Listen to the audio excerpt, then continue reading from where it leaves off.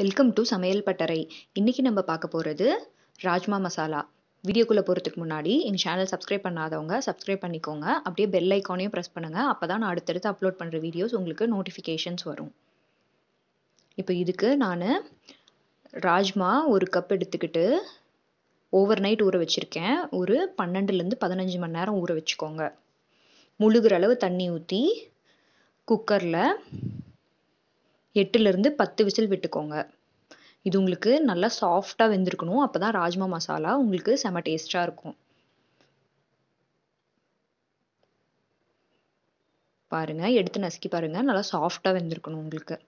இப்போது கிரேவி பண்ணுறதுக்கு ஒரு மூணு பெரிய வெங்காயம் இந்த மாதிரி சும்மா லைட்டாக ரஃப்பாக கட் பண்ணி அரைச்சி எடுத்துக்கோங்க. தண்ணியெல்லாம் எதுவும் விட வேணாம். அப்படியே அரைச்சி எடுத்துக்கோங்க. இப்போ ஒரு கடாயில் மூணு டேபிள் ஸ்பூன் நெய் விட்டுக்கோங்க.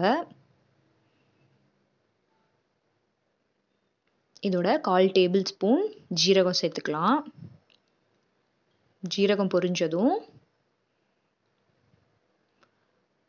அரை டீஸ்பூன் இஞ்சி பூண்டு பேஸ்ட் சேர்த்துக்கோங்க.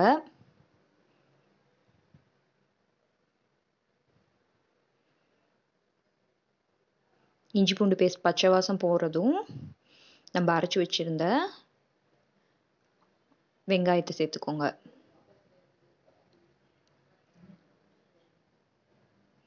வெங்காயம் சேர்த்துட்டு இது நல்லா கலந்து விட்டுக்கோங்க.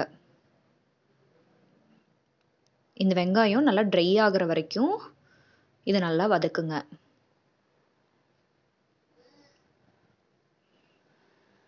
இப்போ இதோட மூணு பெரிய தக்காளி அதையும் மிக்சர் ஜாரில் போட்டு நல்லா நைஸாக அரைச்சி எடுத்துக்கோங்க.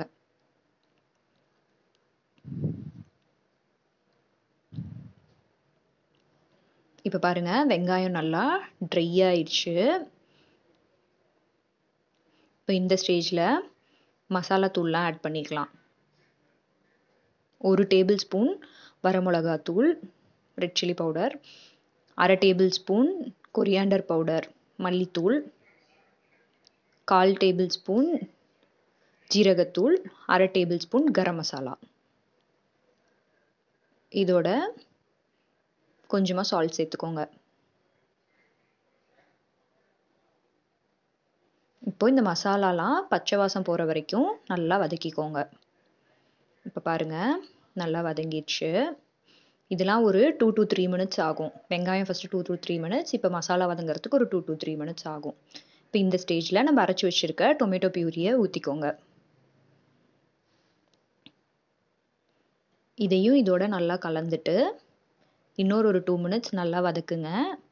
இதுவும் உங்களுக்கு நல்லா ட்ரை ஆகும். பாருங்கள் இந்த மாதிரி நல்லா ட்ரையாக இருக்கணும் உங்களுக்கு. இந்த மாதிரி ஒரு ஒரு இன்க்ரீடியண்ட்டும் தனித்தனியாக குக் ஆக டைம் கொடுங்க. அப்போ தான் இந்த மசாலா உங்களுக்கு செம டேஸ்ட்டாக இருக்கும். இப்போது நம்ம வேக வச்ச ராஜ்மாவை அந்த தண்ணியோட அப்படியே சேர்த்துக்கோங்க.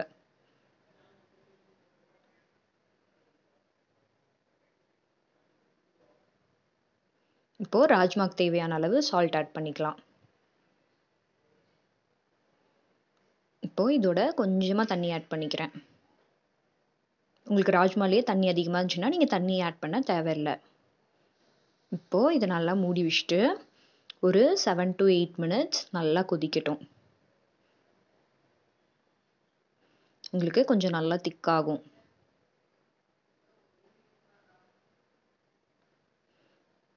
இந்த மாதிரி ஒவ்வொரு இன்க்ரீடியண்ட்டும் உங்களுக்கு குக்காகி வரும்போது தான் ராஜ்மா மசாலா செம டேஸ்ட்டாக இருக்கும். இப்போ இதோட ஒரு அரை tablespoon dry mango powder சேர்த்துக்கோங்க ஆம்ச்சூர் பவுடர் மாங்காய் பொடி.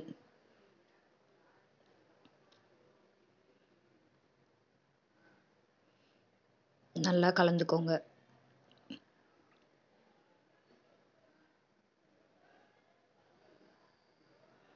இப்போது ஃபைனலாக நம்ம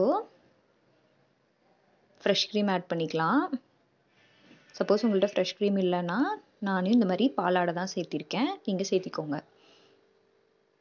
இப்போது இதை நம்ம ஒரு பிளேட்டுக்கு ட்ரான்ஸ்ஃபர் பண்ணிக்கலாம். இது உங்களுக்கு chapati pulao jeera rice white rice எல்லாத்துக்கூடையும் உங்களுக்கு செம்ம டேஸ்ட்டாக இருக்கும்.